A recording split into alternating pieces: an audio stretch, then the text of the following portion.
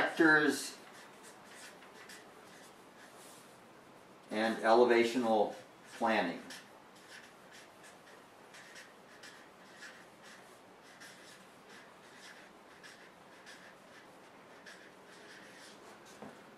This is a big uh, principle to, uh, to unpack here.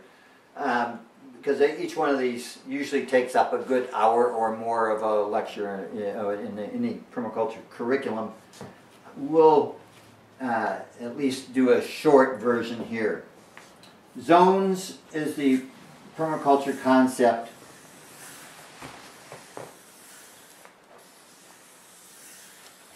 of radiating zones out from the homestead, the yard, the residence, and you place, again, here's your principle of relative location, partly. You place elements in the system in relation to these zones by how often you have to visit it. So uh, chickens are usually going to be in zone 2, maybe even on the outside of zone 1, pretty close because you need to visit them every day to check their water, collect their eggs, keep an, you know, let them out of the pen, close up the pen. So they're, they're visited usually, oftentimes twice a day. So they need to be kind of close. You don't want them way out here in the back 40.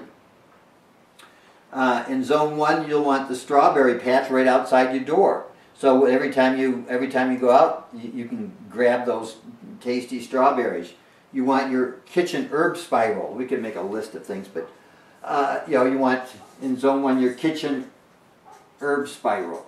So you can hop out of the kitchen and grab a handful of oregano and rosemary and parsley and thyme, and boom, you're back in the kitchen. Kitchen herb spiral right by the back kitchen door. You want your plucking vegetables, so your salad, so you can go out and get your plucking veggies and your uh, and your uh, your cut and come again, you know, which is your your like you a lot of uh, one thing that's popular now is is microgreen salads. So it's a bed that you cut part of it down and then you cut another part. It's rotational. And so you want that close by. So you want things that you visit a lot. You, but in in number two, uh, number two, you might have the currants and some of the berries. You might have some some dwarf fruit trees. So you have to visit them more often, but not as often as your zone one items. Zone three might be the the the, the apple orchard or something. You only have to go there a few times a year and manage it, not that often. You might want your you might have your pastures out here, and you might have your, you probably want your barn if you're having livestock and milking cows or goats or whatever in zone two, so it's pretty close. You don't want too close because of the manure, the smells, etc. But they have access for their for their forage in zone three. So zone uh, three a lot of times is is the uh, is pastures and zone four is you don't go to zone four very often. It's wild fruit trees. It's maybe rangeland. It's mainly forest. If it's wet enough, it's probably mainly your main forest area. your field crops and grains, etc., usually in uh, usually in uh, zone three. Zone four is your forest and range. You don't go there that often and zone five is the wild, the wilderness, etc. Now, of course, every homestead doesn't have all these capabilities. This is more like the rural kind of situation. But this can be applied even in your yard. In your, if zone one is the house, uh, the kid, the kid, the the chickens that might be in, in, and there may be a back part of the of the yard that's like the orchard area and you may make a wild area by the alley that you have some hawthorn trees or some native trees that are very dense cover and provide places for songbirds to nest, etc. So you can have, even within your yard, Different zones are how often you visit. The walkway to the to the uh, car, for instance, is going to be a zone of probably high uh, input. The back of the garage and the alley might be zone four or five. So in other words, you can put zonation, even the concept of zones, even uh, applies to a yard. It also applies inside a house. Here is our zone one kitchen, uh, zone two living room, zone three bedroom, zone four is under the is, is the basement under the house, and zone five are the crawlway spaces filled with spider webs that we hardly ever go to, and they're very wild. So we have even inside the house the zoning. The zone theory can also be applied to cities, your intensely packed inner city, your residential districts, your suburbs, you know, the agricultural land in the peri-urban area, and then back beyond that, the forest and the wild. So zone, the zone theory can be applied to uh, just about any spatial system. So there's the zones. The sectors come in by looking at what energies are coming into your system from outside. So we're going to have different kinds of sectors.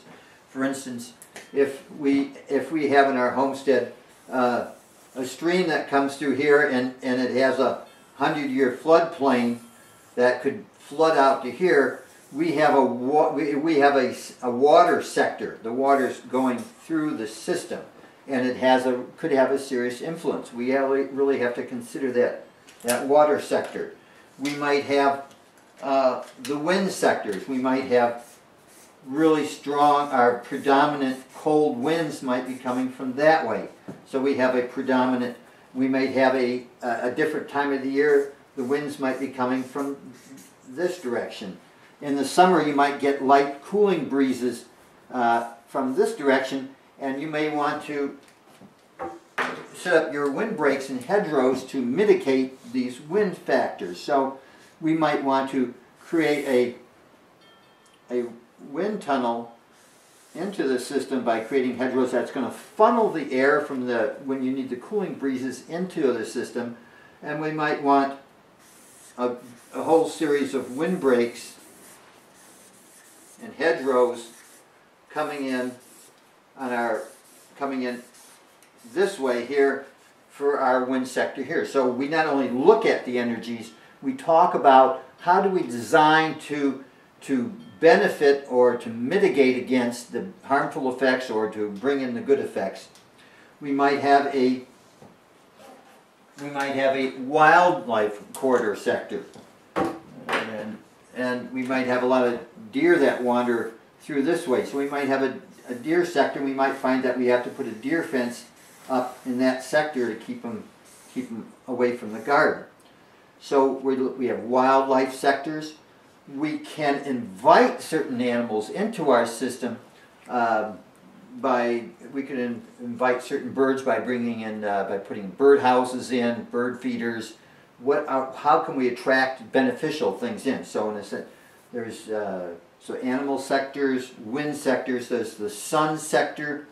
We look at where's the sun coming in here. If, if this is south we want to keep we might want to create uh, sun traps that wrap around like this so that the sun can stream into our system and and uh, it's open here so that a lot of sun can come can come in here. The north part of the place can be can be much more forested because uh, we don't need uh, the sun. We're capturing the sun in our inner areas, buffering things from this area. So there's the sun there's wind, there's smells, there's view sectors in the city. View sectors are very, you know, an important part of every design. You've got a yard in a city, like our yard here. We have neighbors on both sides. Their higher windows are going to look into our yard. And so we're going to put up trellis fences uh, with hedgerows, you know, or vines on it uh, to block views. We might have traffic noises in cities safety corridors. We might uh, we might want barrier hedges in some places. So you you might have uh, you you are always looking at incoming energies. A big factor here in the inland northwest is the fire sector. Where does fire want to come into our system? It usually comes from downslope and comes up the fastest. Uh, we need to design the system. If, if this is our fire sector, well, let's put our let's put our let's put a pond in here. Let's irrigate these uh, crops here. Create a green belt all around the place. Reduce the fuel load in this area, and maybe maybe bring the the road the road that comes into the property might very deliberately create a fire break in the system. So we're looking at what those fire sectors are. How do we mitigate it against it? So the sector planning is a real important part of designing any particular property. The elevational planning, again, that's a long lecture, but it's basically how do we take advantage of slopes how do we take advantage of gravity?